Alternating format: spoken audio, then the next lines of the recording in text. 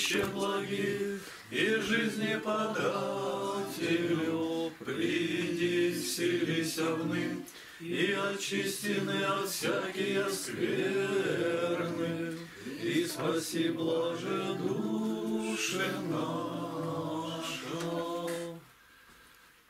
Отец наш Небесный, молим Тебя именем Господа нашего Иисуса Христа. Благослови это наше собрание по Слову Твоему Святому, Господи, обратиться к, ко всем людям. Нам даруй, Господи, чтобы это Слово, было, Слово Твое было всегда с нами. Даруй, Господи, хранить его в сердце, как некогда хранила Матерь Твоя все, что было с Тобой, все слова Твои. И это помогло им стать такой верной Тебе. Даруй, Господи, нам быть верными, послушными Слову Твоему Святому и пойти в этот мир грешный и прелюбодейный. Чтобы еще подольше не пришел Антихрист. Ну да будет во всем воля Твоя святая. Тебе слава за все, Отец, Сын и Святой Дух. Аминь. Аминь. Аминь.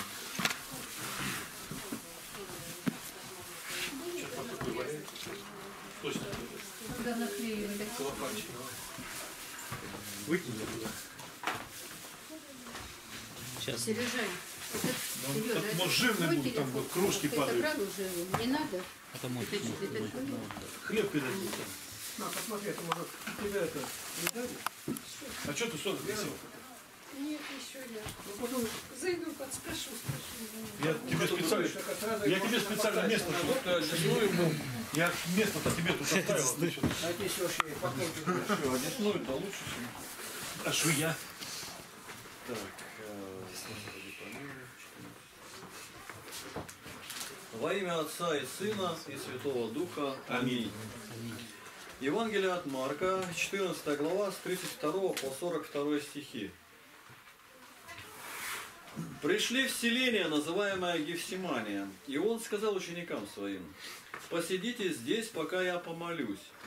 И взял с собою Петра, и Акова, и Иоанна, и начал ужасаться и тосковать. И сказал им, «Душа моя скорбит смертельно, побудьте здесь и бодрствуйте». И отойдя, немного пал на землю и молился, чтобы, если возможно, миновал его час сей. И говорил, там, шу- ей, там шумно очень, скажи, что такое? Не-не, сюда приходите все уже. Запись идет, скажи. Братья и сестры, скажи. Так, И серьезно. всех, которые ходят. Скажи, тоже. братья и сестры. Давай, считай, не отвлекайся, Сергей. И отойдя, немного пал на землю и молился, чтобы, если возможно, миновал его час сей, и говорил, «Ава, Отче, все возможно тебе, пронеси чашу сию мимо меня, но ничего я хочу, а чего ты?»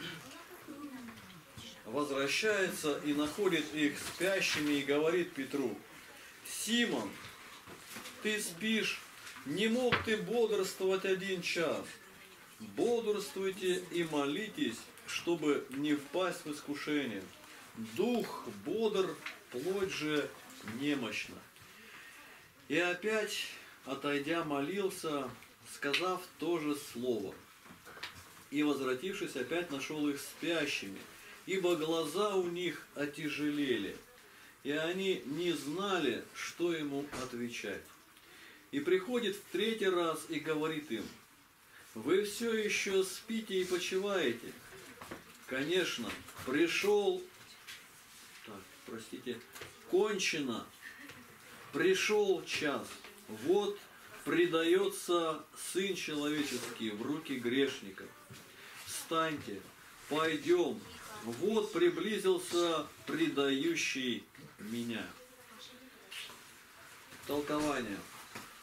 Встаньте, пойдем. Вот э, толкование. Христос всегда имел обычай молиться наедине, подавая и нам пример, чтобы мы для молитвы искали уединение. Он берет с собою только тех троих учеников, кои были очевидцами славы его в фаворе, дабы они, видев славное его состояние, видели и состояние скорбное. И таким образом дознали, что он есть истинный человек, и скорбит и тоскует подобно нам. Ибо как он воспринял всего человека с его естественными свойствами, то скорбит и тужит, без сомнения, по естеству человеческому. Ибо мы, люди по природе, отвращаемся от смерти. Таким образом, когда он говорит «пронеси чашу сию мимо меня», он обнаруживает в себе человеческое свойство, а засим присовокупив «но ничего я хочу, но чего ты». Он научает нас, несмотря на требования природы, просить того, что угодно Богу. После молитвы Пришедший к ученикам, он нашел тех троих учеников спящими, но упрекает одного Петра, как бы так говоря ему, «Не ты ли обещался умереть со мною?» А и одного часа не мог пободрствовать, и ты ли можешь презреть смерть? Но бодрствуйте, молитесь, чтобы не впасть в искушение и не отречься от меня. Пусть дух ваш готов не отрекаться, как вы э, и обещались мне, но плоть немощна, а потому, если Бог по вашей молитве не даст силы плоти вашей, вас постигнет беда. И опять, отойдя от них, начал молиться и говорить те же, что и прежде слова, дабы и вторичным молением удостоверить, что он был существенно и истинно человек. Да и нас научить молиться чаще, не так, чтобы проговорив что-либо в молитве однажды, тотчас и оставлять ее. Надобно с усердием повторять молитву. Увидев же учеников опять спящими, уже не делает им упрека, потому что они отягчены были сном. Отсюда познай человеческое легкомыслие и немощь. Вот мы и сну противиться не можем, а обещаем часто невозможное для нас. Третий раз Христос молится по тем причинам, о которых мы говорили выше. И снова приходит к ученикам, но не обличает их, хотя и следовало обличить, так как они и после упреков не укрепились, но предались сну. Говорит не с тем, чтоб бежать, но чтобы встретить врагов. Выражение «душа моя скорбит смертельно» некоторые разумеют так. Я скорблю не о том, что должен умереть, но о том, что меня распинают израильтяне – ближние мои, и зато будут отвержены от Царства Божия.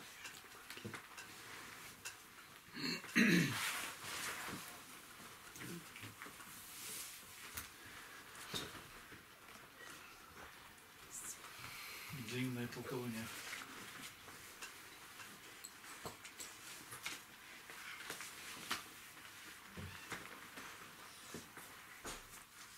Дальше. Ну, главное это что? Вот я с, той стороны смотрю. Видимо это понятно, а в невидимой стороне сегодня как людям это не понять? Вот я проверяю себя с ним, беседую, которая отрицает это. Каждое слово от сатаны. Это не просто так. И он не воскрес. Кто сказал против жертвы Христа? И кто не приносит этой вести не принимать. И кто не будет исповедовать Христа, пришедшего в плоти, есть дух Антихриста. Антихрист. Дальше, кто будет приносить это не это учение о Христе, Галатам 1.8.9, анафема. Я считаю, я вижу, как вокруг закипает ярость. Я никому не говорю, я просто считаю. Ну ты сам себя определи. Понятно? И человек, который это слышит, если он виновен, у него все внутри закипает. Вот я никогда до этого, до этой рулетки не знал, что настолько люди эти бестолковые, необразованные, блудливые и прочее. Ни, никакого сдвига духовного нет, никакой порошинки духовного нету. все носило. Не так руку отрубил, не так, значит, убил, зарезал. Еще что духовного -то. Я говорил ему, говорю, у нас, если он две жены одновременно живет, его поганца в дом не пустят, Иосиф, церковь нет, а у вас четыре святость. Еще тут непонятно-то. Мы... Да это не Бог только разный. Бог один, а все разные. Вот так говорят, не один. И Бог, который дал заповедь не глядеть, то что спрашивать того, когда имеешь, реально. И нет преграды, что только одну выбросит, другую берет. Писали там где-то, двухсотую свадьбу играет. Двухсотую. Но закон ни разу не нарушил. Она понравилась, он подводит и глянул, какая вы, жена первая-то. Долой. Все, сосед лишь бы три крика услышишь. Я развожусь с Нинкой. Все, Нинки нету. Три раза. Слышу, слышу. Все. У меня свидетель есть, что я развелся. И она не имеет права в дом войти. Ну что тут духовного-то? И особенно вот это вот. Если она ушла, или он ее выгнал, а потом полюбил и решил взять, не имеет права вернуть ее, пока она прежде не, по, не возьмет прослойку. За кого-то должна выйти замуж, а потом тот должен дать ей разводной или что тогда войдет. А у нас Еремея 3.7, не раз, 3.1, не развратилась бы вся земля. То есть у нас это наивысший разврат считается, а там за святость. От кого это может быть? Тут не просто как-то. Я не беру конкретно, кого это может быть 100 лет назад, а может тысячу лет или полторы.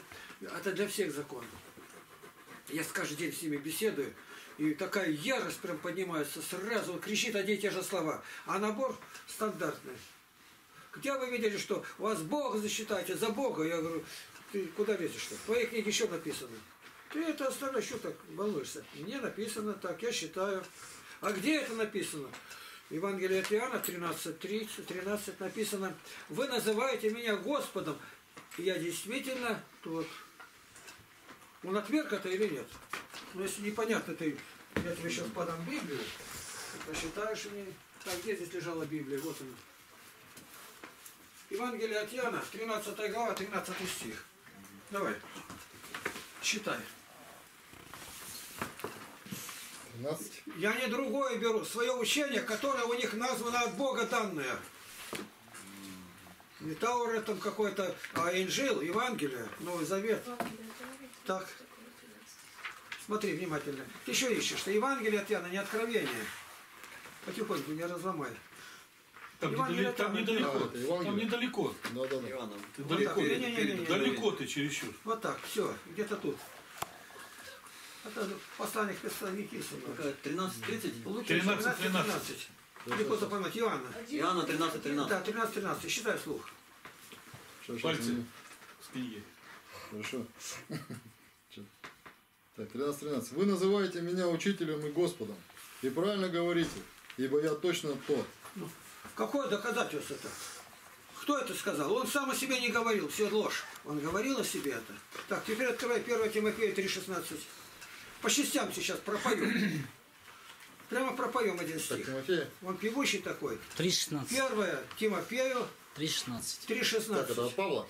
Да. Ну, конечно, Павла, это не Игнатий же. Я, я и так еще не знаю, где это что. Первое послание Тимофею. Помоги найти. Великая благочестие. Надо каждый день открывать. Займемся, брат, тобой. На ощупь. На ощупь. У меня Да. слепой был. Я Займемся Ну, я сейчас там в этом. Он вот так книгу На следующем занятии пройдем. это. вверх ногами. Мы наизусть знаем.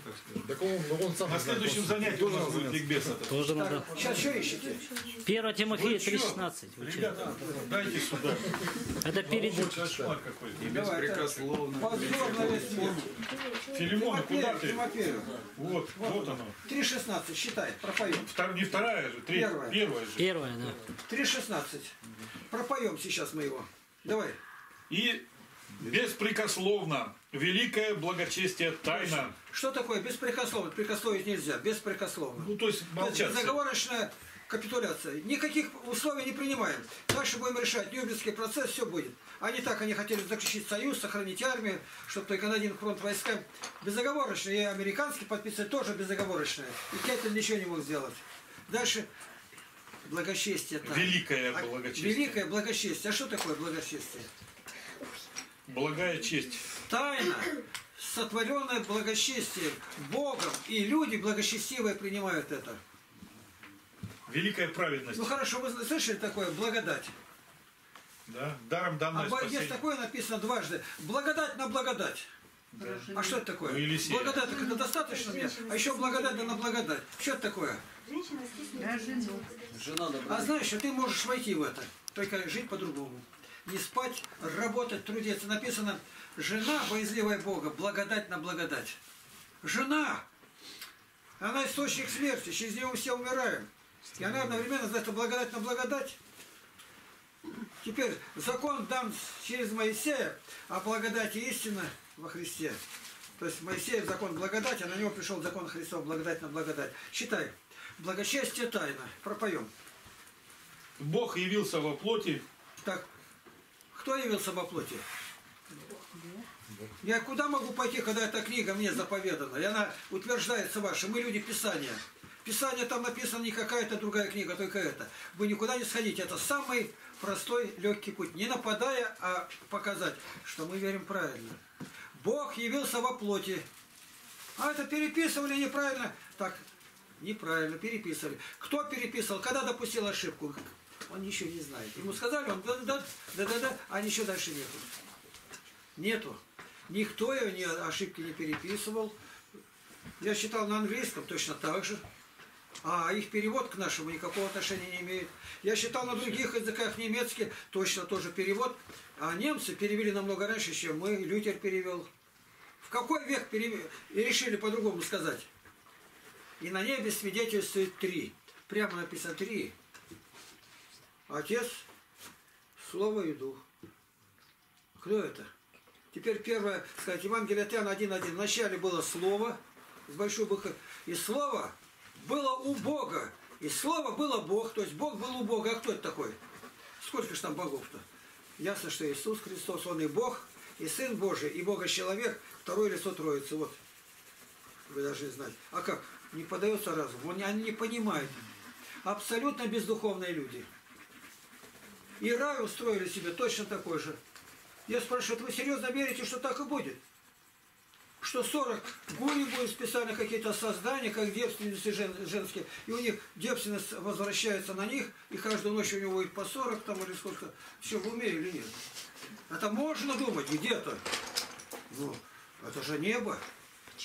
Я ничего не придумал, я спрашиваю. Это в великом разврате сердца можно думать. я, я беру то, что нигде не употреблял ни Данил, никто, Сысоев-то. Я определенно спрашиваю, у нас Соломон, у вас Сулейман. Это одно и то же? Все говорят, одно и то же. Теперь, у нас у него три книги. Притчи, Премудрость и Экклесиаст. А песня Игнатий Иванович. четыре. Четыре книги. А у вас четыре предложения даже нет у Сулеймана. Почему? Если он это один и тот же герой. И вы ниоткуда от него знать не могли узнать, только из этой книги, других-то не было. Не надо там говорить с неба или как конкретно. Почему? Что ваш Сулейман совершенно не такой? У него мудрости нету. Одна мудрость показали, когда царица Савская подол подняла. Надо додуматься. Он шлифовал пол, ей показалось, что это вода, он желал посмотреть, что у нее под юбкой. Это что, официально? И она видит, а на самом деле нет, отражение идет. Она юбку-то подняла, и Соломон увидел тысячи у него женских, 300 жен, 700 наложниц, а ему еще охота что-то узнать, может другое устройство. Я не прибавляю, я беру из их учения. Разве можно так издеваться решил увидеть. А рождение свыше, водительство Духом Святым, это вообще не, не по нам. А мы только этим живем, стяжание Духа Святого. Понятно как? Притом не поминай никаких названий, три табу. Определенно. Я верю по своей книге. Вашу не трогаю, пожалуйста. Я сегодня только с одним разговаривал долго. Поем дальше. Да. Оправдал себя в духе, Так, оправдал в духе, ду- духовно, не по-человечески, в духе святом. в духе святом, с большой буквы дух, да. А? С большой буквы дух. Ну, может большой или маленький, в духе святом, я в духе, значит, в духовной жизни. И поэтому э, переводчики часто не знали, каком поставить. Дух дышит где хочет. И не, не каждый знал, как поставить. С большой или с маленькой. Но оказался перевод такой, ветер дует где хочет, жужжание его слышишь, а не знаешь, откуда пришел. Речь идет о ветре. Ну, дальше. Показал себя ангелом, Его ангелы не видели никогда Христа. А сколько лет не видели? Может, миллион лет, не знаю. И они его не видели, они его сейчас увидели. Кому они воспевали день и ночь песни, находя в этом великое утешение и радость. Показал себя ангелом. И ангелы воспели славу Вышний Богу, что показал нам. И в людях другое желание будет. В человеце благоволение. И на земле мир будет. А наоборот война пошла. Никто такой войны всеобщей не объявлял ни одному человеку, как христианам. Ну, допустим, Писание нам говорит, ты когда выйдешь и знаешь, на тебя идет с 20 тысячами, а у тебя 10 тысяч. Примирись, пока не поздно. За стол сядьте. А здесь-то ведь не так. Не так. Здесь не, не просто, а к миллионной какой-то, триллионной. Никак мы не можем воевать против Христа и прочее. Силы неравные. На земле мир. Где во Христе? В мир где? Мир имеет тройное свойство. Мир с Богом. Прости меня, Господи, я примирился, раздавленный. Ради Христа, прости меня. Второе, мир с самим собой. Я себе не могу простить то, что я делал в жизни. Прости меня, Господи. Дай мне мир в душе, что ты я прощенный. И мир еще какой? С собой, да друг с другом. Человечество. Это труднее всего. У нас три врага. Сатана, вот этот мир, и третий в зеркало посмотри. Все, и везде все на трое делится. Молитва. Я тоже нигде это, я просто наработал, и сейчас повторяю вот это. Просьба. Тут все дай, дай, дай, дай. Второе, благодарение. Получил, не получил, только христиане могут так. И третье, словословие. А как словословие? Проповедан в народах. Так, о ком написано? В народах. Как проповедовать, если не будет посланы? А вера чем? Вера слышания. А слышание Слова Божьего у них закрыто вообще не считают, не знают. А Слово Божие от кого? От Бога. И поэтому нам, христианам, говорит, а знаете, сколько христиан к нам приходит? Ни один не перейдет, если он верующий. Ни один. Под великими пытками христиан казнили, когда ни один не шевельнулся. А куда идет тут? Так по-вашему лучше, что он какой был наркоман? Конечно, лучше, что не наркоман. Я реально смотрю. Но говорить, что он православный был, там ничего не было. Или был христианин католик. А как он был? Да никак. Тут, по крайней мере, определенно 4, а у этого 44 было. Еще спрашивайте. Ничего нету. Надо научиться вот эту кромку найти, за нее не заходить, время не тратить. Я вначале кинулся изучать, э, там, которые большие миссионеры, как, как беседуют. А теперь вижу, а зачем знания? Они не знают. Я ему ссылаюсь, но я не считал, можете не говорить. Все абсолютно. Один нашелся, который просчитал с обратной стороны. Я его стал спрашивать, говорит, я ответить не могу. Вот и весь сказ.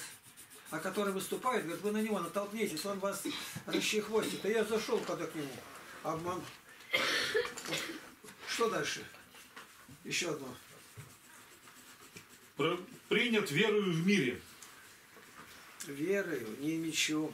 А вы знаете, Иерус крестили, сколько убили? Полтора миллиона христиан, это сказать, язычникам дали. Полтора миллиона. До полтора-то миллиона до дальней сопки нигде не было. Вы понимаете? Во всей Римской империи было только 150 миллионов. И вдруг те, которые между печенеги были, окрестились не печенеги, а русичи, и миллион убили. Вы понимаете, цифры-то какой? Ну ска- скажи, там одного человека убили. Так ни одного не убили. Он пригрозил, и все приняли. Дальше Вознесся во славе. Вознесся во славе. А какая слава? Что он выполнил то, что для чего ты Отец меня послал. И славу, которую я имел от начала мира, ты мне дал. Ты. И крест Христов это слава. А почему? Высшая любовь явлена. Он умер за грехи людей. Все? Конец, да. Вот так. Начало 4 главы. И все это надо пропивать в себе каждый раз. И беседуя с ним показать. Я делаю то, что есть. Особенно сильно 1 Иоанна, там 2.4. Кто не приносит всего учения, рожденный от Бога, не грешит. Кто приносит другое учение, другое, есть дух Антихриста. Не просто другое учение, а от Антихриста. Неважно кто и где, когда. Пошел. Евангелие от Марка 14, 43, 49. Ну, Потише гремыхайте. Лучше вообще не громыхать. И тот час, как он еще говорил, Евангелие от Марка, 14 глава, 43 по 49 стихи. И тот час, как он еще говорил, приходит Иуда, один из двенадцати. И с ним множество народа с мечами и кольями от первосвященников и книжников и старейшин. Предающий же его дал им знак, сказав, кого я поцелую, тот и есть. Возьмите его и ведите осторожно. И придя тотчас подошел к нему и говорит, Рави, Рави, и поцеловал его. А они возложили на него руки свои и взяли его. Один же из стоявших тут извлек меч, ударил раба первосвященникова и отсек ему ухо. Тогда Иисус сказал им, как будто на разбойника вышли вы с мечами и колями, чтобы взять меня. Каждый день бывал я с вами в храме и учил, и вы не брали меня. Но да сбудутся Писания. Толкование. Марк умолчал о имени его, чтобы не подумали, будто он хвалит Петра, учителя своего, за его ревность о Христе. Но Петр, кстати, отсек ухо у архиерея раба. Этим указывается на то, что иудеи были люди непослушные, непокорные и невнимательные к Писаниям. Иначе, если бы они имели уши, внимающие Писаниям, они не распяли бы Господа славы. И не другого какого-либо раба поразил Петр, а архиереева, ибо архиереи первые не слушались Писания, сделавшись рабами зависти и самолюбия. Когда же он сам восхотел, тогда и предал себя им. Да сбудутся пророческие писания Исаии 53, не пререкая, не, вопи, не, воп, не вопия, но добровольно последуя за ведущими. Игнат Тихонович Лапкин дает комментарий на слова Феофилакта. Если бы они имели уши, внимающие Писаниям, они не распяли бы Господа. И еще одно место. Архиереи первые не слушались Писаний. Эти слова выделены жирным и подчеркнуты. Итак, комментарий. Как тогда, так и во все времена и ныне те, кто не слушают Писания и не вникают в их таинственный, животворящий смысл, они не могут остаться сторонними наблюдателями того, где проявляется проповедь Евангелия, они делаются первыми гонителями и душителями истины. Это архиереи и священники, которых Бог не избирал, но они сами назначили себя руководителями и взгромоздились на Моисеевом седалище. Евангелие от Матфея 23.2. И сказал, на Моисеевом седалище сели книжники и фарисеи. Что, не я ли, да? Сами сели тут сидим. Все, повторяя, все повторяется заново, но только уже в овечьих одеждах, под пение православных гимнов и типикона. Христос сказал, что весь мир для христиан – волки, а епископы и пресвитеры, которые не будут слушать Слово Божие, лютые, бешеные волки сто крат опаснее безбожников. Матфея 10:16. Вот, я посылаю вас, как овец среди волков. Итак, будьте мудры, как змеи, и просты, как голуби. Деяния, 20 глава, 29-30 стих. Ибо я знаю, что по отшествии моем войдут к вам лютые волки, не щадящие стада. И из вас самих восстанут люди, которые будут говорить превратно, дабы увлечь учеников за собою. Из слов Евангелия блаженный Феофилакт делает единственно верный вывод, который мы и читаем здесь. И отрицать его православным никак нельзя. Но нужно только согласиться с этим. Феофилакт не был баптистом, он православный архиепископ, и слова его приняты всей церковью как слова хорошие и нужные. Отвечаю на твой вопрос. Это не мы. Да дай-то Бог. Фарисеи и книжники, ну, священники, первосвященники, тебе понятно. А фарисеи и книжники, фарисеи, это была такая религиозная партия. Ну, как сейчас есть э, э, христиане, демократы в, в этом. У нас в Германии, да, у них прям партия. Х- х- х- х- ХДС, Д- ДСПС какая-то как переводится. ДСС, да. Именно так. А- Они партия. И вот там была такая партия тоже. Как понять партия? К ней примыкали как члены простые люди, а во главе стояли этой партии. Ох-охо, конечно же, князья, богатые и так далее. А книжники это вообще богословы. Кто из нас богослов? Игнат Тихонович, он не богослов. Ты что ли богослов? Я тоже не богослов. Кто? Что мы можем? Мы читаем то, что написано. А вот Игнатий Тихонович, он избранный для того, чтобы прокомментировать нужное для нас сейчас. Вот он комментарий, ну, сопротивляйтесь, кто может, давайте там, тренируйте мышцу языковую или какую, попробуйте опровергнуть. 297 комментариев на Новый Завет дал. На Ну вот. толкование, на толкование. Вот, вот главное опровержение, вот здесь, вот, вот в этом, 20 глава Деяний Святых Апостолов. Из вас самих, из кого из нас? Мы никто. Восстанут лютые волки. Я вот не просто не волк, я, я вообще никто. Я разговаривал со священниками, когда я начинаю задавать им вопросы о крещении, почему они не крестят, почему оглашения нету.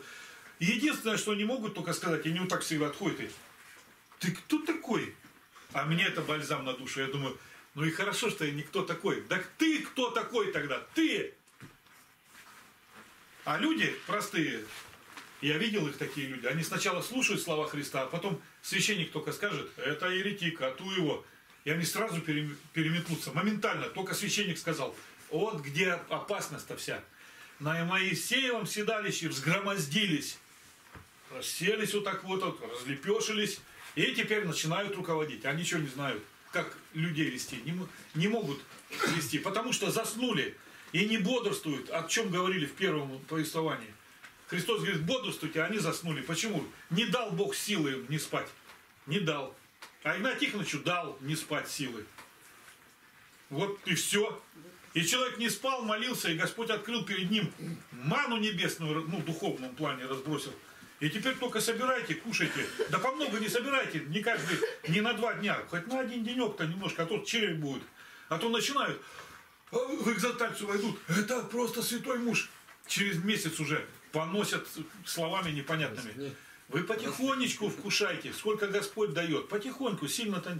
Почему он только комментарий дает на, благове... на проповедь и на, лю- э, на любовь к Слову Божьему? Почему именно это? Потому что это ключевой момент. И это 12 глава, 40, 48 стих Евангелия от Иоанна. Потому что Слово Божие будет судить нас в последний день. Вот смысл-то в чем. Слово будет судить. Здесь Христос, вот оно Слово есть. То есть любовь к Евангелию и любовь к Слову. То есть переда- передача этих слов Христа другим людям. Это основное. А потом там много и другого есть, которые законы не исполняются. А если он это еще бы задел, тут книга была бы потолще Библии. Вот сколько нагрешили уже книжники, фарисеи. А они, да, главное, это у них седьмая глава, первый, первый стих Евангелия от Матфея. Ты, это, как, оскор- что там, Не судите, да не не су- судите. ты меня осудил, как это сказать, оскорбил, ты меня осудил, не суди. Да не судим будешь. А что я тебя осудил? Подожди. Чем? Давай разберемся. Никто разбираться с тобой не будет. Я был прав, и все. Я на Моисеевом седалище, а не ты. Так что ты себя не мни так высоко-то. А то действительно Господь посадит, будешь знать. Пять лет семинарии. Да. Меня уже не посадят. да кто знает. Он же памятник. Моисеево седалище.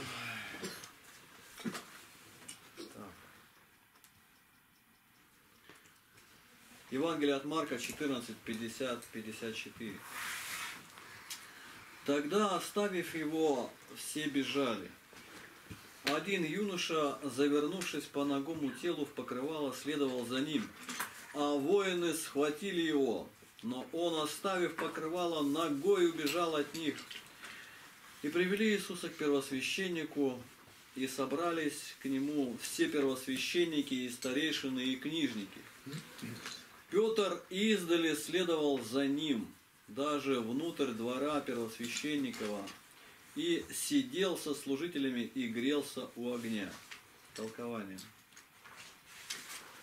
Ученики разбежались, ибо невозможно было самосущей истине и пророкам солгать. Только один какой-то юноша шел за ним. Этот юноша был, вероятно, из того дома, в котором ели Пасху. Некоторые, впрочем, думают, что это был Иаков, брат Божий, прозванный праведным, ибо он во всю свою жизнь ходил в одной мантии. По вознесении же Господнем он принял от апостолов и престол епископский в Иерусалиме. Он-то, говорят, оставив верхнее покрывало, бежал. И нет ничего удивительного, что когда бежали верховные апостолы, и сей оставил Господа. Впрочем, Петр, являя теплейшую любовь к учителю, следовал за Христом. Закон повелевал, чтоб у иудеев был один архиерей во всю свою жизнь. Между тем у них, когда было много архиереев, которые один за другим каждый год покупали власть у римлян. Таким образом, архиереями евангелист называет тех, которые, пробыв некоторое время на архиерействе, оставили оно. Конец толкования. Я Его нельзя было оставить архиерейство. Архиерейство это первосвященник. Его нельзя было оставлять. Ни в коем разе. Первосвященник должен умереть, и тогда другого избирает первосвященника Господь. А здесь это уже отступление от закона было. Покупали его и продавали. А вот э, я читал, что когда обвинения на подсудимого давали, они должны были в знак подтверждения того, что их обвинение не ложно, воскладывать, возлагать руки на обвиненного. Слышал такое? И если его обвинение оказывалось ложным, то, то вот это вот свидетельство, что он руки возлагал, это как печать. Я говорю правду, как вот мы ложим руки вот сегодня на, на, на Конституции, там, на, кто-то на Библии, говорю, клянусь говорить правду и правду, правду. И вот тогда было возложение рук вот это на обвиняемого не ложили. Не читал такое? И вот когда Иуда, э, Иуда его поцеловал, он говорит, знак. Он должен был знаком дать вот такой. То есть я, то есть я говорю, что он виноват. То есть они же лжесвидетели искали. Вот. А, а тут написано, что не Иуда только поцеловал, а возложили на Христа руки уже вот другие. Возложили, это значит э, повели его, то есть ну, начали толкать. Вот, Не, я вот читал такое. толкование, что Вот это понятие. этого. Не читал ты? Нет. Ну, ладно, тогда. Нет, я не знаю А такого. вы не знаете такого Игнатий Тихонович? Тоже первый Ну раз что тут непонятно? Я даже не знаю, что непонятно. Начиная от вержения камня. Что это навержение? Вершина, наверное. Сначала навержение. Отошел от них навержение камня. Я вначале так и понимал, что камень извернутый какой-то лежал. Оказывается, на расстоянии броска рукой камня. Тут все понятно. Ну, а сколько грош? 30 метров. Отошел на такое расстояние стал молиться. И здесь-то мы должны уже не искать никакой сакральности, а конкретно, что это означает. Вот эти слова мы встречаем иногда в своей жизни, а как мимо пролетает. Я вот сегодня говорил сказал три раза каждое слово считать. Маленько запомнилось. Притом всего семь мест. Семь и семь. 49. Ну, я еще один там назвал стих, 50 раз открыть Библию в одной проповеди. Но сегодня это вообще нет никак. Вот сейчас он считает, э, там, Юрасов, архимандрит, знатный, все. И ответ он дает, а потом я даю и толкование, то есть э, комментарии. Ну и как? Хорошо. Шикарно. Шикарно. Поэтому ни один не ответит, ни Ткачев, ни Смирнов, ни Патриарх. Им не ответить на этот вопрос. Почему? А они не знают, а во-вторых, если будут знать, они не скажут, они боятся. Там говорится так, вот я смотрю, вот как вот выше уголок, я не вижу, кто передо мной. И все документировано, самое главное. Это я, он засчитывает непрерывно документы, такое-то издание, такой-то год, такая-то страница. Опять прочитает, опять. То есть я сейчас не могу понять, где я мог брать эти документы. Я в архивах работал в краевой библиотеке. Проник в самую глубину у них. Ну, Кое-что дал. Не деньгами, у меня там возможность была мир получить. Я сейчас не знаю, что, но иначе бы я не сдал. Притом это все фонограммой было. Говорит, допустим, Ленин. А где ты найдешь? Я там у них сидел и переписывал с, с этих дисков. Не диски, а пластинки. Вот Жуков, Корс, Харс там заключает мир и какие слова говорит, я реально оттуда. То есть это я составлял такие программы. Эти программы были похищены. Малая часть осталась на моем сайте. А как вы понимаете? Вот это не надо, как я понимаю. Один говорит, мне от своих мыслей тошнит, да еще твои будут.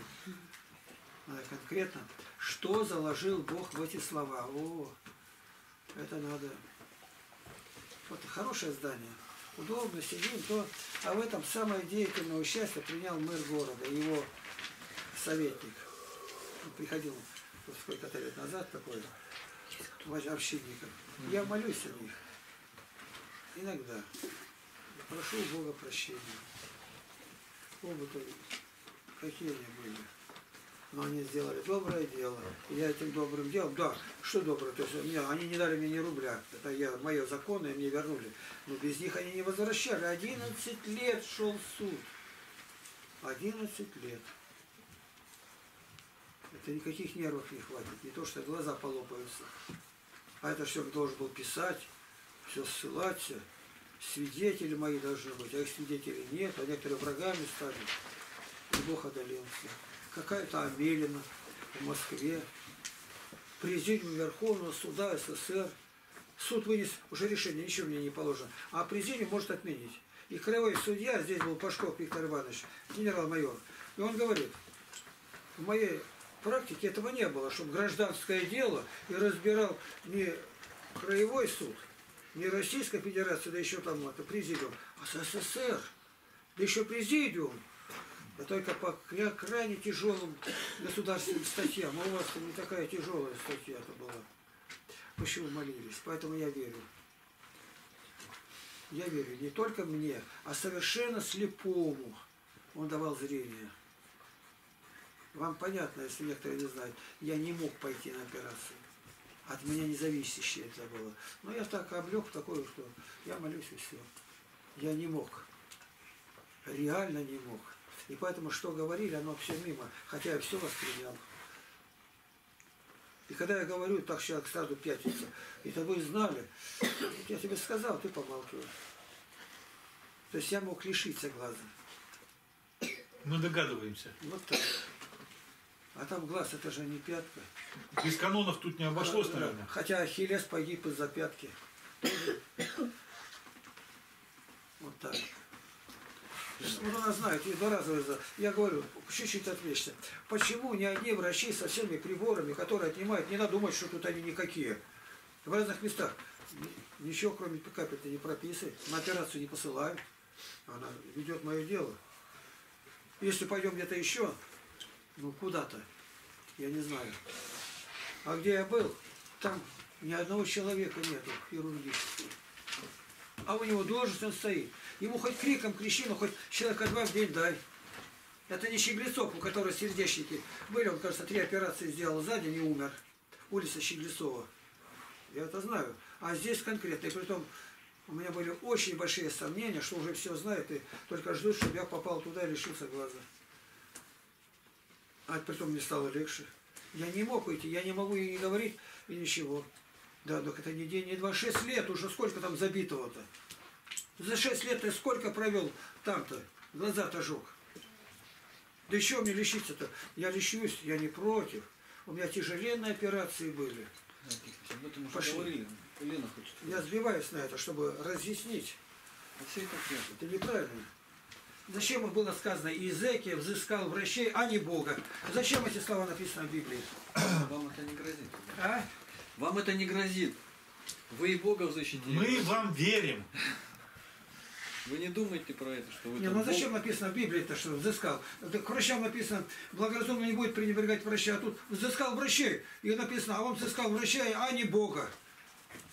Толковать нечего. Да он, видимо, отрекся, значит, от Бога. Э, Совсем никакой надежды у него на Бога не было. Вот и все.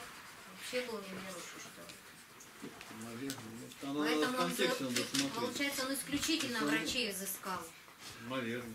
Так, Игнатий Тихонович? Минимум шесть тысяч с половиной лет никто ничего в глаз это не залазил. Зачем такие строгие меры были в Греции? За потерю глаза казнился врач. Так просто они не приступали. Ну, Это а была очень видел, дорогая да. цена, жизнь. За глаз, больше ни за что. Интересно, законы были какие? Разорение пчелиной семьи улья приравнивалось к убийству человека. Такие законы были.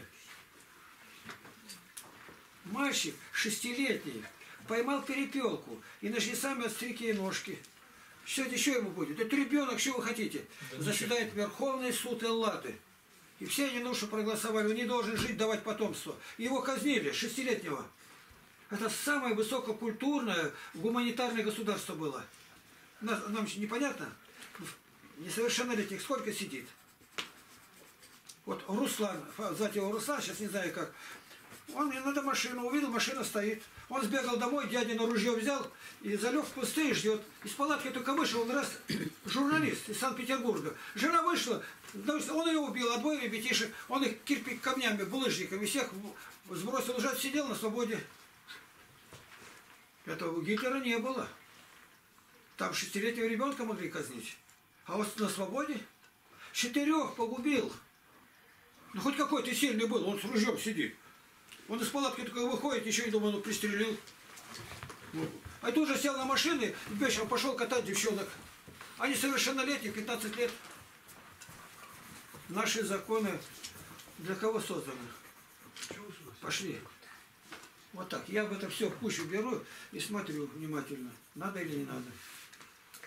Лена хотела что-то сказать. А? Лена хотела. Для чего э, в Библии вот этот пример с э, юношей, который голый убежал?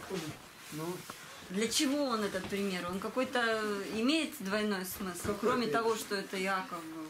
Не, ну там же говорил, что архиерейство не, не надо оставлять. Потому что это одежда, это как толкуется, что Когда убежал ногой этот ну, это человек, Марк считается Марк. ну да, это вроде как в этом Евангелии Марк. Марк. Ну а тут Евангелист Марк. говорят, Для что чего? Яков. То есть для чего? Что для чего? Ну, Этот Библия пример. все рассказывает нам. Нет, это. Смысл- Смысл в- Да, двойной да, там какой-то. Она говорит, какой смысл в том, что он убежал? Нет. Ну, живой он убежал? Что его? А был-то прикрытый только этим, одеяло сорвали, он совершенно голый, вояк это Ну они так ходили раньше.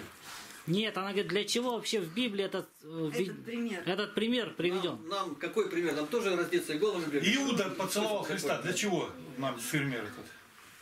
Христос зашел в ворота. Ну вот зашел в ворота и зашел. И Зачем? Христа. Пример для чего? Нет, один священник пишет, зачем, говорит, раб был, имя рабу Малх. Больше зачем мне эта рыба э, раба, который муха, который убили Малх? Да. Он нигде больше его нету. Зачем? Мне лучше скажите о том, как апостол Павел, то и то там проповедовал, ни одного имени нету. Ну, Но точно. свою милит обратил, сколько людей, его за Бога признали, а ни одного имени нету. Нету. А Малха мне суют. Зачем он? Не надо рассуждать, Бог сказал. Задумайся и доберись. Пошли. А ты что хотел услышать? Нет, они говорят, зачем в Библии это порная история эти? Там-то еще. Отец с дочерями обе забеременели. Зачем в Библии? А меня это больше всего привлекло. Такие вещи пишутся, значит ничего не таится. Я верю в это. Никто не стилизовал, не стилизовал. Прямая трансляция всегда... О голубых тут сколько раз говорится. Ну так говорят, что от них, от Лота пошли, пошли эти нечестивые народы, от Два. дочерей Лота. Аммонитяне и Да. моавитяне. Всё. Вот, то есть смысл-то есть, и тут какой смысл в этом Смысл на- есть. ногом мальчике? А другие хвалят, а у нас а нашей слышала, священной это не что- написано. Вот я потому и не Что верю. это Иоанн? Он же Пошли. молодой был. Ну. Марк и Иоанн, он и есть. Все, поехали. Евангелие от Марка, 14 Нет, глава, это не 55-61 стих. Этого не было. Первосвященники же и весь Синедрион искали свидетельства на Иисуса, чтобы предать его смерти, и не находили. Ибо многие лжесвидетельствовали на него, но свидетельства сии не были достаточны. И некоторые, встав, лжесвидетельствовали против него и говорили, «Мы слышали, как он говорил, я разрушу храм сей рукотворный, и через три дня воздвигну другой, нерукотворенный». Так, рукотворенный, я говорил, не рукотворный, а рукотворенный. Но и такое свидетельство их не было достаточно. Тогда первосвященник стал посреди и спросил Иисуса, что ты ничего не отвечаешь, что они против тебя свидетельствуют? Но он молчал и не отвечал ничего. Опять первосвященник спросил его и сказал ему, ты ли Христос, Сын Благословенного? Толкование. Люди, сами достойные осуждения, составляют вид судилища, чтобы показать, будто умертвили его, Христа, по суду, по закону. Но где справедливость суда, когда приводятся свидетели, не могущие сказать ничего справедливого, а только одно буйство и нелепости. Да и те самые, кои думали сказать нечто дельное, сказали ложь. Ибо Господь не говорил, я разорю церковь, но разорите. Не сказал при том церковь рукотворенную, а просто церковь. Архиерей, восстав, опрошал Иисуса в намерении побудить его к ответу, а ответ обратить в обвинение. Но Христос молчал, зная, что не будут внимать словам Его. Лука 22, 67. Вопросы какие возникают? Так я не мимо пройду, как бы чуть-чуть в сторонку. 22, 67. Был тут, приезжал игумен Кирилл Сахаров в Берсеневке. Это от храма Христа Спасителя 250 метров примерно, рядом. И он приехал с группой учеников, и в лагере у меня был. И обо мне написал, какая-то двойственность у вас. Почему вы иконы признаете католические, которые это? Я говорю, «А вы не маленько ошиблись. У меня не двойственность, а тройственность. Вот я хотел на это сказать. Вот смотрите, три книги у меня выпущены, вот они, Новый Завет, вот она. Каждая книга, это толкование Нового Завета с, с откровением, 752 страницы. Так не бывает, это не сделать. А тут получилось, и шрифт не уменьшался, ничего. Как получилось у меня? Ровно 752. Три книги. Такой огромный материал, ну, 700, 7 3, 21, 2100 уже страниц, до 5200, 2250, да еще там умножь. Подогнали как-то, наверное, и, этими. Ну как? Ну, просветами не обязательно шрифт Нет, уменьшать. Нет, ни просветы не менял ничего. Я вставил еще что-то. Комментарии? Когда я разбил примерно как, получается, первое четверо Евангелия прямо получается целиком. Дальше отдельно я беру, которые комментарии. В одном месте я расширил комментарий, и оно страницу сдвинуло. Дальше, самое главное, я дополняю. Считай, что я тут дополнил. Это какой том первый? Считай, что тут дополнил. На какой странице? Так, эта страница. Так, Златоуст говорит, дальше. 722 страница. 722? 722. 30, Достоверно ли 30 Евангелие? страниц добавляю. Каких? Марцинковский Владимир Филимонович, профессор. Добавля... Что? Добавлен. Достоверно ли Евангелие? Меня теперь спрашивают, а вы знаете, кто он был? Конечно, знаю. А кто он был? Православный. Родился, мать у него была из священнической среды. И дальше-то он, он очень любознательный был.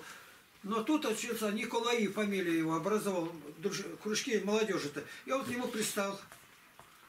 И дальше у него что было в жизни? Я даже не уверен, он спасен. Но бывает, вот меня спросят, Пушкин, как вы думаете, где? Я даже задумываться не буду, в Царстве Небесном. Почему? Потому что он три дня страдал. Он умирал тяжко. Все загнило там. Царь его простил. Взял попечение его семье, он писал, «Тебя, твой трон, я ненавижу, твою погибель, смерть детей, жестокой радостью вижу». Царь все ему простил.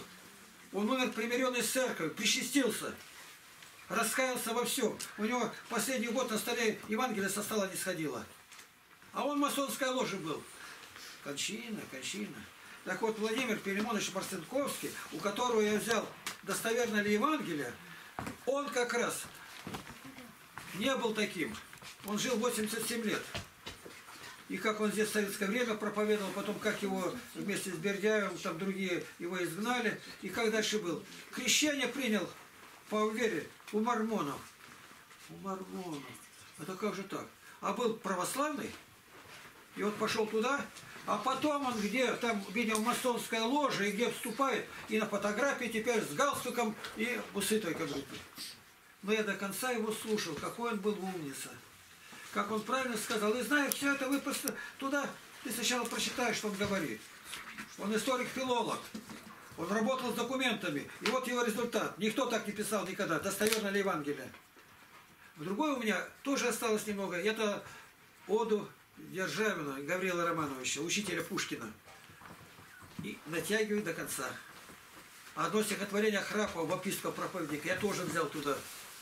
То есть добавляя чего-то, то, что не противоречило. Но беру какой-то, никакой масон какой-то. Ну, Державин там все-таки православный, а другой это явно из баптистского. И никто не знает, где. Они, а я подписываю, кто он такой. И вы считаете правильно? Конечно. Я не смотрю на того. Вырастил хлеб и дал. И через это ни одна тысяча людей пришла к Богу. Прочитал? Вот так. И поэтому двойственных никак нет. Я беру доброе везде абсолютно. Так, э, Здесь э, место Писания еще рекомендуется прочитать. Но Христос молчал, зная, что не будут внимать словам Его. Лука 22, 67.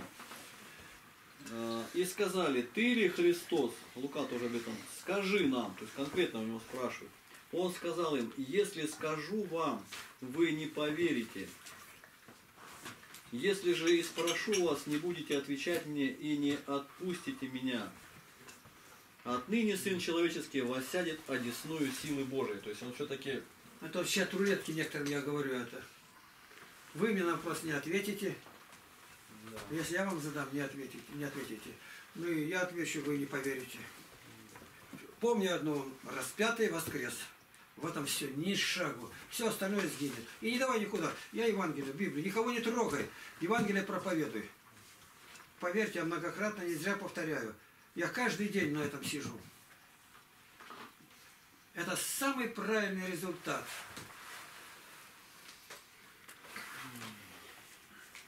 Ни одной православной женщины еще не одела террористического пояса. Они не одевают, наши женщины, пояса террористические. Давай, пошли. У них не обговорено, это ни в уставе, нигде. И, и что женщины были с поясами, ни в Библии нигде не написано. И поэтому мы в устав не вели. А что мужчины в пояс с поясом 102 раза. Тут ясно дело. Один раз только распоясавшийся, арабсак, захватчик, хвостун. Вот и все. А мы могли женщин, конечно, вот Потеряевки. Потеряевки быть с поясом. Они написали, что в лагере написано, где бы он ни был, за лагерь говорит, быть в поясе, в церкви в поясе. А Потеряевки, только Потеряевки и здесь. Они поэтому как едут, кому не надо, сразу пояса долой, брюки заправили, в город поехали, молодчики. Это те, которым противно это, и они мучаются с нами. А если поет Андрей Устинов, там, то они никогда этого не делают, ни Алеша этого не делает. Вот как. Я говорю про пояс смертников. А, Я говорю, ни одна православная пояс смертника не одевала, Нет, а они ясно. одевают, потому что тупые просто. Вот и все. не тупые, а религиозно талантливые. Да, да, да. Религиозно. смелые. Я как-то стихотворение писал, коронованная короном. Ну вот это красиво. Корону, корону. А в чем их религиозная, та- религиозная талантливость? То в том, что среди множества язычников, среди христиан-то они этого не видели, не знали. Они узнали, Бог един, единобожие, это самое главное.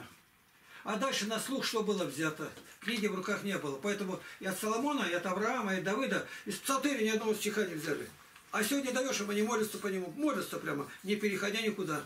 Значит, доказательство самое лучшее, эта книга получилась, он был умный, развитый, ходил, но он взял на слух. А рядом жили только еретики христиане, он от них ухватил. За 300 были там. Это пишут они сами, это из их книг я беру. И что делать? Молиться. Быть дружественным, показать, что то, что у нас, намного выше, чем у них.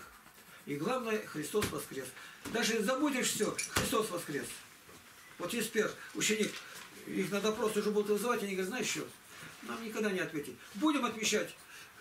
Отвечать, а как будешь? Я христианин. Так как фамилия? Я христианин. А ты? Я христианин. Бились, бились. Это демоны какие-то. У них фамилии нет, у них имени. Дальше молчат. А где жили? Я христианин. Надо вызывать врачей с психиатрии, скорую помощь. Я христианин. Ну, обоих казнили.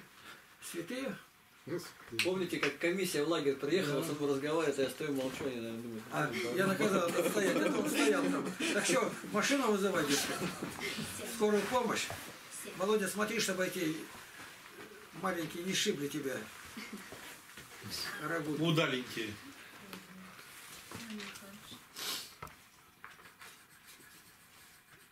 Так. Сережа, я один вопрос хотел задать. Что означает смотреть с вожделением? Какой смысл вкладывается? Тебе трудно ответить. Евгений, что такое э, смотреть с вожделением? Что запрещено? И не куда-то, а именно речь идет о противоположном поле, о Я женщине. понял, наверное, с каким-то Что это означает? Как? С развитой какой-то мыслью, да? А?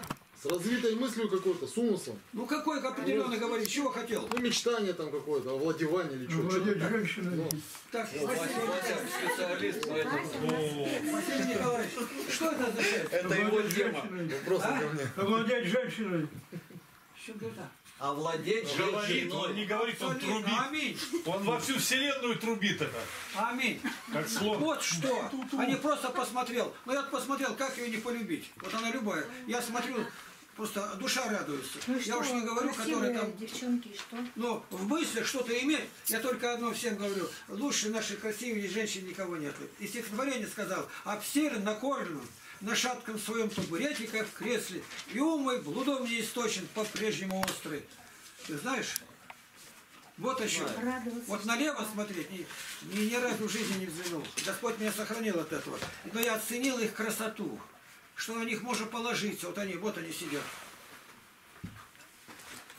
И заботиться надо, и охранять. А что вы будете делать, если она нет?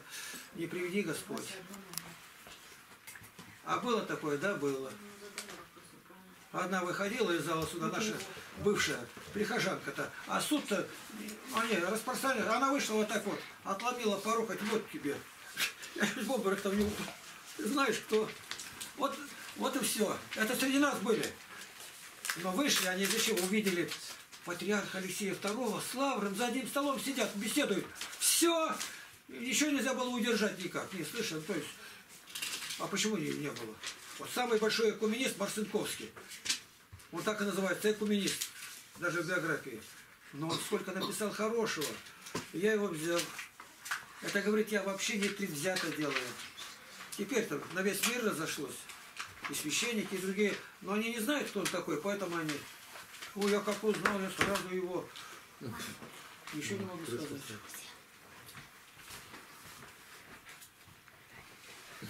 Пошли. Лакмусовая бумажка, смотришь ты на жену с вожделением и не, не, не смотришь, это жена. Если она говорит, что ты смотришь, значит ты смотришь, даже если ты Она не не смотришь. говорит, как так? Я в кино Ну, смотрю или в окно увидел. Нет. Ну как? Она...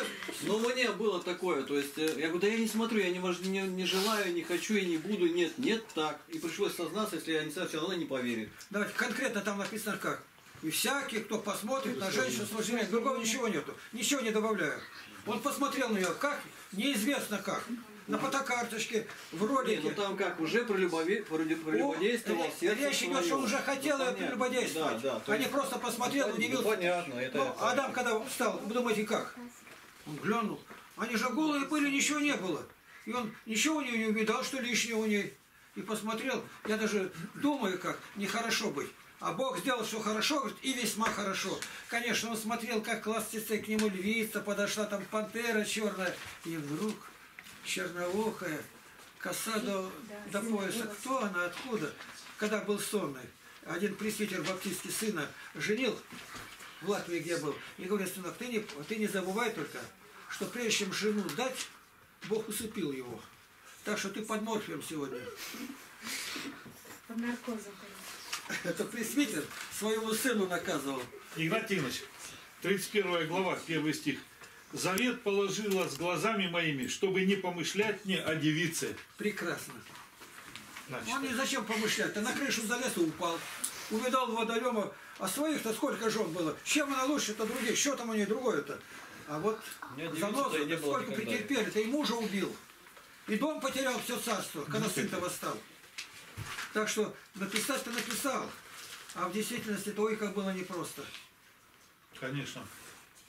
Он все, он мог, он мог хоть кого выбирать его. Я тут- Да тихо ты бубнишь. У нас тут было и два наших брата, они у нас общими были. И я говорю, у тебя сколько жен было-то этих? Ну, этих 18. А у этого, а я и не помню. Один знает 18 у него было их, наши такие же вот. Ну, я говорю, ладно. Обстиран накормлен, на шатком своем табурете, а вокруг чистые сестры. Какой я счастливый, что Бог-то дал мне быть обихоженным со всех сторон. Пошли дальше. Ну, правда, я иногда не воздерживаюсь, похвалюсь там перед кем-то, что красивее наших никого нету. Это американцы сказали, когда были. Пожилые, там лет по 65, они побыли. Какие у вас жены красивые. Жены.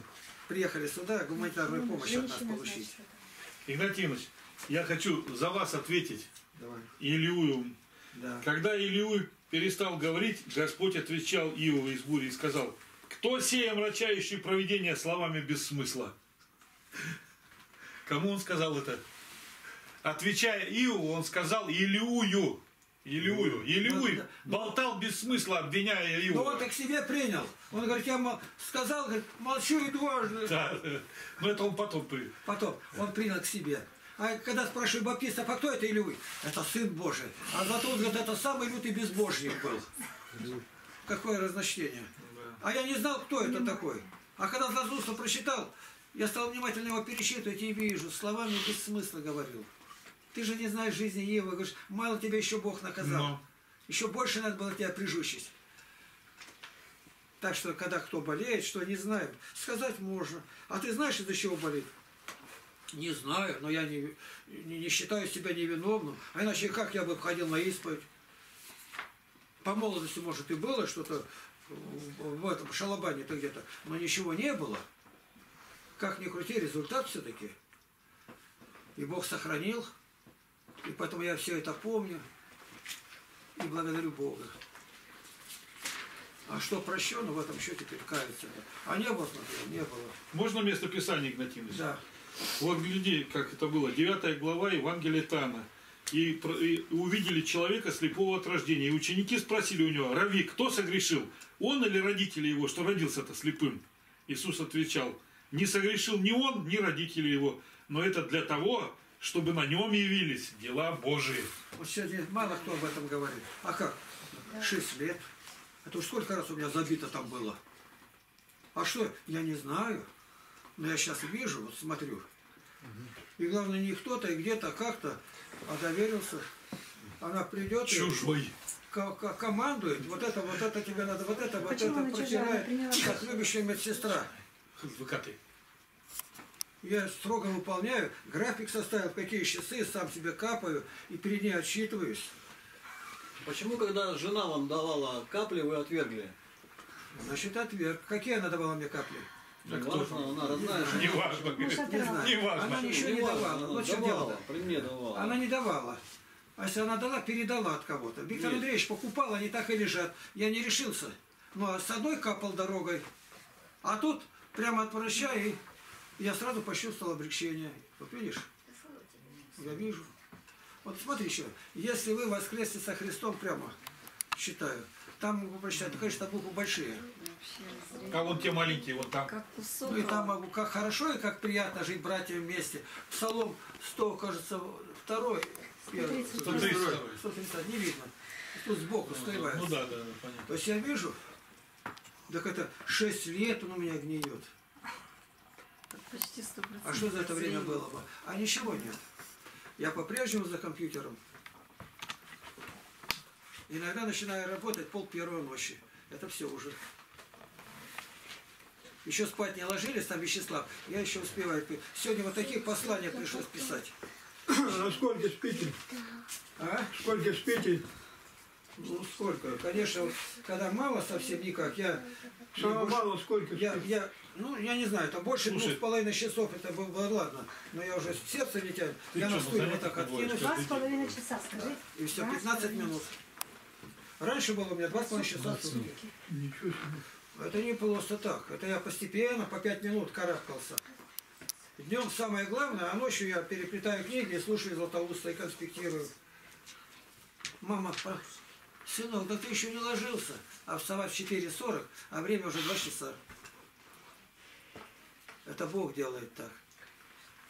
Сейчас, конечно, я это не потяну. Я ложусь рано. Володя сидит еще, э, делает, он все показал, он все тщательно выполняет. Каждый день 40-50 роликов ставится. Мне выставить надо, потом разберутся люди. А посещаемость там минимальная, 10, 15, 100, больше нету. Дальше будут развиваться. Они готовые теперь, насчитанные. Больше всех, конечно, считают, вот, дорогой брат. Знаете, все слушают утром. Только рано уходите. Не просыпай никогда на утреннюю молитву. Лежу, нету. Два будильника. Два стоит, ни одного не Так, слышу. У пошли. меня три теперь уже, еще Ольга звонит. Ну. Так, поехали. Так сам свой поставь. Сам свой поставь будильник, да и все. Ну свой будильник поставь на телефон и все. У меня три будильника, чтобы не проспать. Ну я и говорю. Через стенку Надежда Васильевна палочкой стучит. Татьяна Кузьминична звонит. И Володя через дорогу звонит. Чтобы я не проспал. Стучаться, а у меня свет горит, я уже давно сижу. Но чтобы случайно не проспать, я троих попросил. Три звонка поступают. Я не беру, позвонили, Господи, благослови Татьяну каждое утро. Первая мол- молитва сейчас о Татьяне. Потому что она звонит. Всегда наказываю, чтобы не проспать. Забота. Почему интимная встреча? С любимым и любящим. Вот так. Евангелие от Марка, 14 глава, 62 по 65 стихи. Иисус сказал, «Я, и вы узрите Сына Человеческого, сидящего лесной силы и грядущего на облаках небесных». Тогда первосвященник, разодрав одежды свои, сказал, «На что еще нам, свидетелей, вы слышали богохульство, как вам кажется?»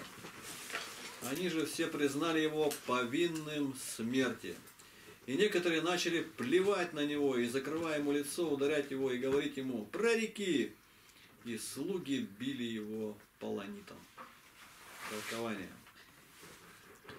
Первосвященник снова спрашивает Иисуса не с тем, что, познав истину, уверовать, но чтобы иметь какой-либо предлог к осуждению, к словам «Ты ли Христос, помазанник?» Он присовокупляет «Сын благословенного».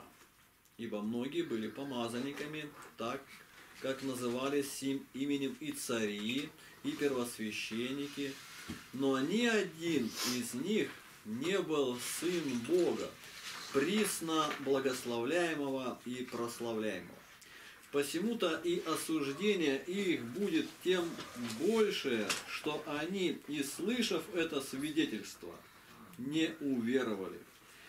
Ибо он приидет снова не без тела, но таким, кто может быть видим и узнан распявшим его.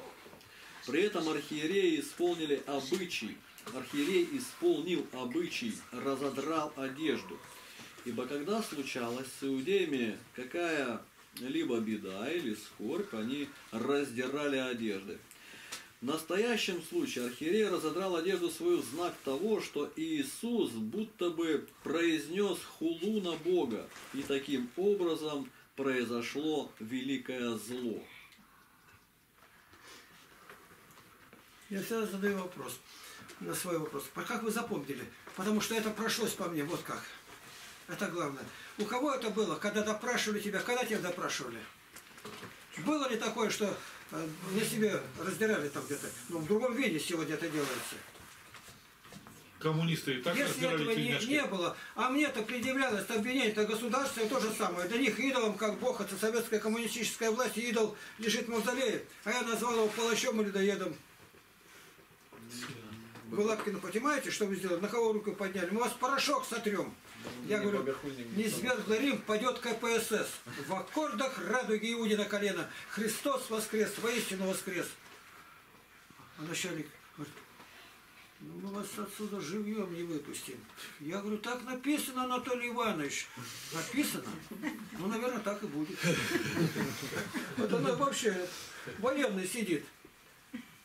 А то, что следователь меня допрашивает, принял крещение с полным погружением, это ничего не значит? Что начальник тюрьмы умер по-христиански, это ничего не значит? Что в тюрьме сколько людей, там ни- никто не знает сколько, каялись, молились, и это что? Мне там надо было быть. И поэтому прошлось, и как спрашивал, и как я отвечал, что свидетельство какое? Вы видите как? Вот против кого? Статья-то как раз поношение, это распространение заведомо ложных измышлений, порочащих общественных государственных трой Советского Союза. Можно вопрос. Но для них, для, для коммунистов, Ленин был ихним бо- богом. И вы, Конечно. вы ихнего бога как бы хулили. Конечно. И они за этого бога э, вступали, осуждая вас. Но здесь-то Христос, э, как он, он Бога Отца не хулил, он называл как бы богохульство в том, что он себя называл вместо Бога. Так они Ну, понимают? понятно, это уже близко к этому. Они вот считали, что Бог-то, вот, Владимир Ильич, вот Бог наш. Прямо мне это говорят. А я говорю, это все тленное, видимое временное, невидимое вечное. И стихотворение, что они взяли, клуб, вот который на Ленинском стоит здесь недалеко, стоит свой рот ощерив. Помету тист подставил голый череп. Вождь атеистов, сонмище Иуд. Следователь написал, нужно чаще мыть памятник. Точно. Вот и все. Нет, но с не- Игнатий Тихонович, с теми понятно, что... Но в чем э, богохульство Христа было? Равным отцу себя делал, что это- ангельские силы сядет на небе, то другое. Что он себя... ну, Он себя называет Богом. Тебе нужно Шульхана Рух почитать, если ты не В понимаешь. этом и считалось богохульство. Человек смертный, за которым ошибок столько. Субботу, главное, не чтит. И Богом себя называет. Же Убить его мало. И они, Евреи конечно, потирали руки, как это, есть Божий суд Евгения Евтушенко-то. Напрасно руки потираете рано. Есть Божий суд на перстнике разврата. Он им говорил, что ждет их. Что в Иерусалиме камни на камне не останется. Весь храм разрушен будет. А, Игнатий Тихонович, ну а когда Антихрист будет себя Богом называть, а почему они не вспомнят, э, они же не будут считать, что это богохульство какое-то время-то? Они Конечно, его. сразу они будут Но читать. надо сказать, что многие, которые сегодня его хотят воцарить, Машах, говорит, Машах, это Мессия это, а они откроются, глаза, это три слова об Антихристе, Владимира Сергеевича Соловьева, хорошо описано. То есть примут православные, примут католики, протестанты. У протестантов за них выйдет Павел, у католиков Петр, у рус- у русских Иоанн. И вот и антихристы спросят, скажите, что вам нужно, чтобы приняли меня? Они скажут одно только, признай Христа за Бога, который сошел, умер. Э, этого я не могу. А православные другие скажут, ну что, чтобы мощи были у нас тут, церковно-славянские книги, колокола, храмы позлощены, пожалуйста, только примите меня. У католиков свое, там папа, пожалуйста, папа вам будет. А сектантам что, что везде разрешили на всех языках там говорить, ну по-своему где-то проповедует. Всем даст, ну там и там и там говорит Соловьев. Найдутся люди, которые не пойдут. Тогда он им сразу объявит смертную бой, войну. То есть он реально это все как бы видел. Ему 49 лет всего жил-то Соловьев. Ну, какая-то, скорее всего, будет предвыборная кампания, да, типа, Ну, можем так вот, интервью да? дьявол когда дает. Да, да, да, да. Интервью дьявола. И, и когда люди вот, ну, согласятся, проголосуют за него, как, как за владыку мира, а христиане истинные, они Вот не это, пойдут. в И это этого, власти пришел наверное, деньги... Сталин, Ленин. Это все прелюдия, посмотреть. Это детская игра. Что тогда будет? Не разде- ну, были же последователи, которые даже священники некоторые были. Всё. Тут все будет по-другому. Не продать, не купить. Но это смерть, по, по сути, да, или, или как? И кто поможет, Ну, допустим, Даже как, как у нас почему много воров? А почему мусульман нету? А потому что у них с детства ему говорят, сынок, если ты своруешь, смотри, а, поймали вора. Жизнь прожили некоторые видели первый раз. И это Григорьянс пишет, были легенды Востока, книга. И он говорит, на завтра, проходя мимо базара, мы увидели кисть, прибитую, почерневшую на базарных воротах. Ему говорят, сынок, тебе правую руку сразу отрубят. Дальше. Ты не имеешь права в дом войти. С тобой жена не имеет права жить. Их никто не имеет права тебя накормить. Тебя хоронить никто не имеет права. Это в больницу тебе нельзя, перевязку нельзя. Это за то, что своровал. Ты поэтому их с детства учат, ложи рядом никто не возьмет. Ну, это хорошо, но это все страхом. А у нас то же самое, мы же не воруем нигде любовью. Почему? Ну, во-первых, мы все братья и сестры, а во-вторых, моему Иисусу это не угодно. Нам никто руки не рубит, а мы же не воруем. Вот мой отец, он так, и, когда пьяный, может закурить даже. Выпивал, даже валялся. Не ругается, а выпить, материться. Но когда узнал, что по, по деревне ездят пшеницу, продают кто-то, он торопился домой с поля-то. Ты, Мария, не брала у них пшеницу? Она говорит, нет. Ты спросила, а соседи брали. Она нам нужна, курицам. Но они дешево продают. Где они ее взяли? Они сказали, на разъезде им дали. Хватит За что шушать. дали? Отец неграмотный допрашивает. А на завтра милиция, как вначале шмонает по дворам. А у вас, а у кого нашли, он купил тонну. А дома две тонны было. Все подгребают под одно. И статья ворованная. А отец отбил, мать прям перед отцом трепетала. Да нет, Тихон, да нет, нет, не брали. Мать взяла бы, я думаю, но она боялась отца. И они подъехали, машина постояла и отъехала.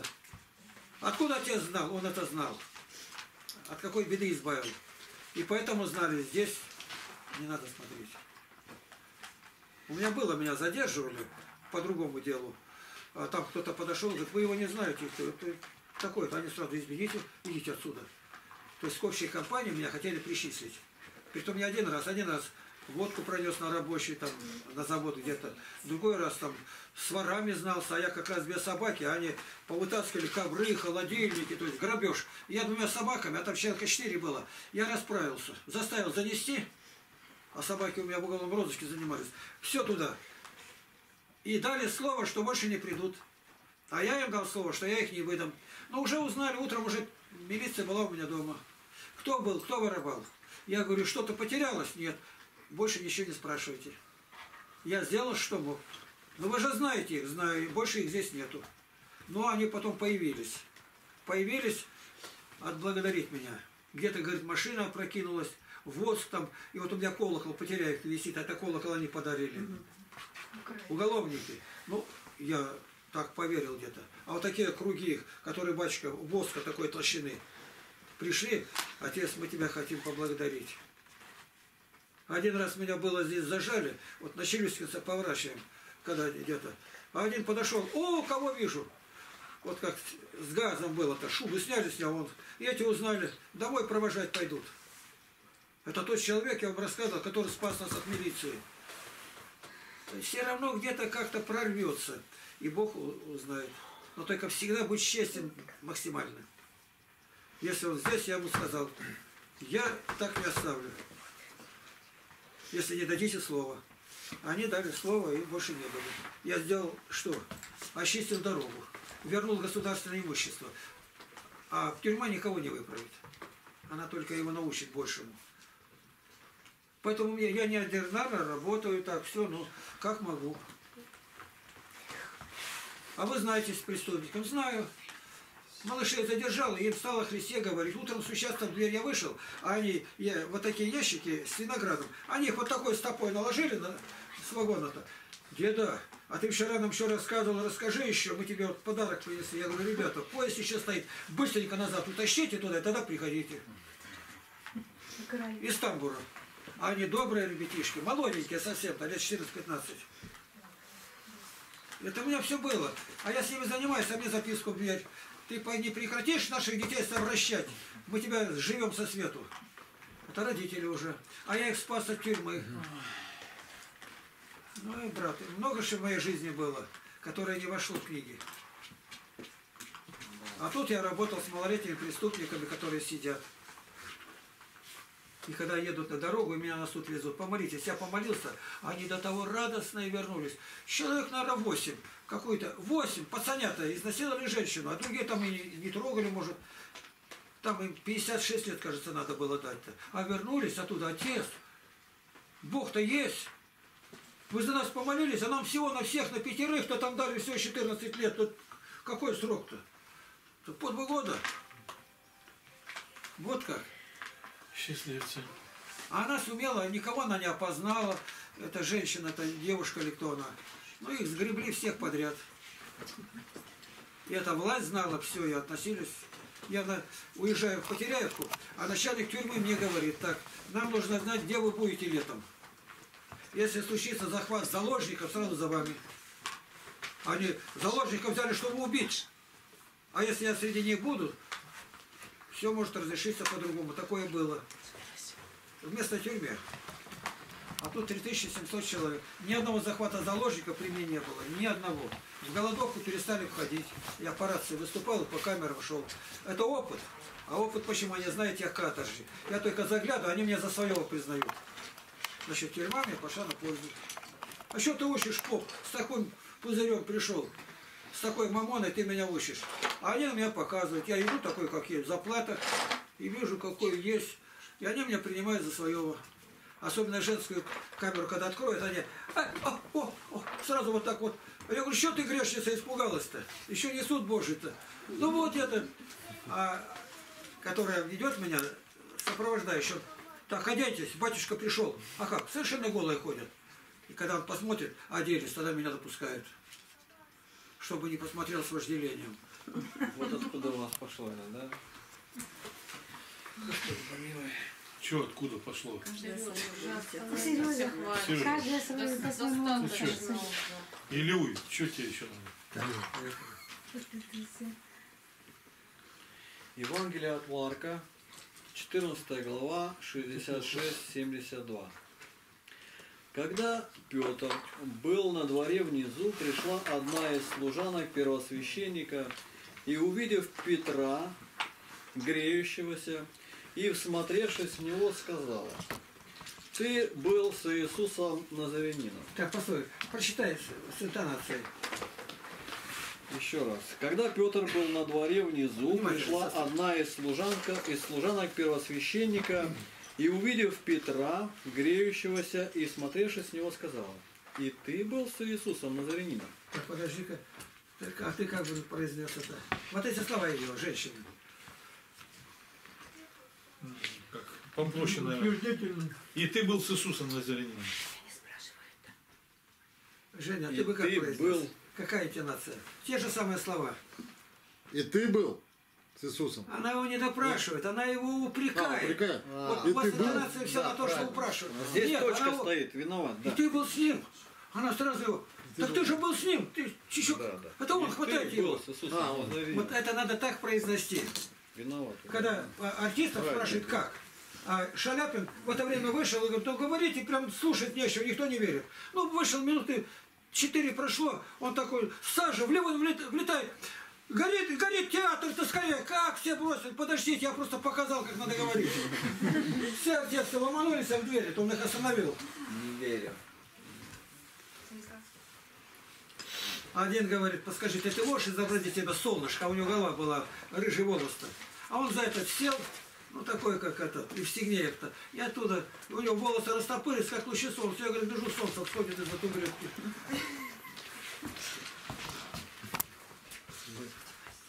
Пошли. Значит, надо считать правильно, войти в эту роль и очень сильно пережить. Вот а меня она упрекнула, она меня узнала. Это что со мной будет? Да что ты говоришь? Я там не был никогда. Ты что наговорить-то на меня? Это надо тренировать, показать. И режиссер, который, он все это переигрывает. Говорит, неправильно. Вот этот Пыльев был, который, который режиссер снимает-то.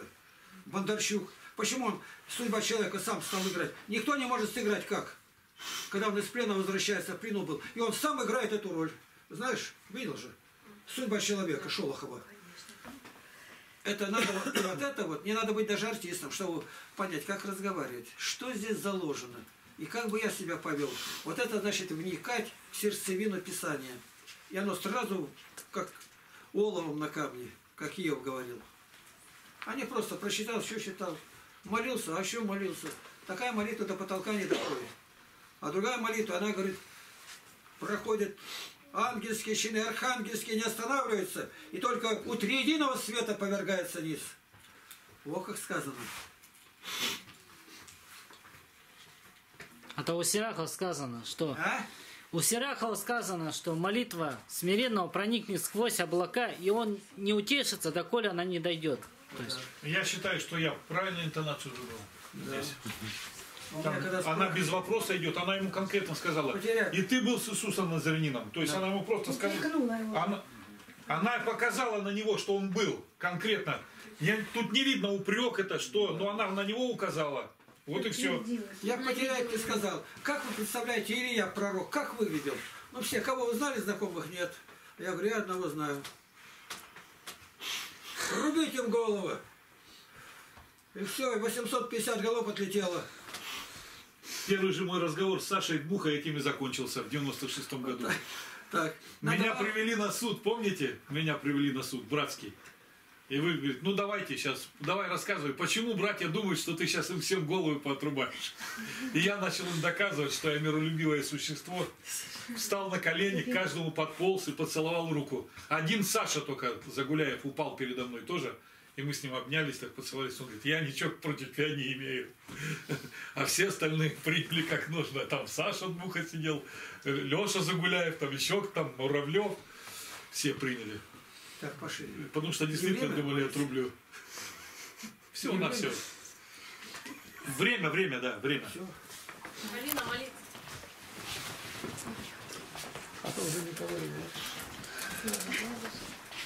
Достойно есть всякого истину, положите тебя, Богородицу, пресноблаженную и пренепорочную, и Матерь Бога нашего, честнейшую Херувим, и славнейшую без сравнения Серафим, без исцеления Бога снова родшую, сущую Богородицу тебя величаем. Игнатьевич, Господи Боже наш, слава Тебе за эту возможность собираться, вникать в Слово Твое. Если еще мы погрешили, прости нас и помилуй. И будь с нами, исполни благодати Духа Святого. Не допусти, чтобы кто из нас оказался опоздавшим. Но всех нас веди в вечные Твои обители, к этой небесной пристани, чтобы пристала наша жизнь. Тебе слава за все, Отец, Сын и Святой Дух. Аминь. аминь. Богу Спаси слава. Христос. спасибо, Христос. Спаси Христос. У кого время есть, помощь нужна, видите в Евангелии. Так, не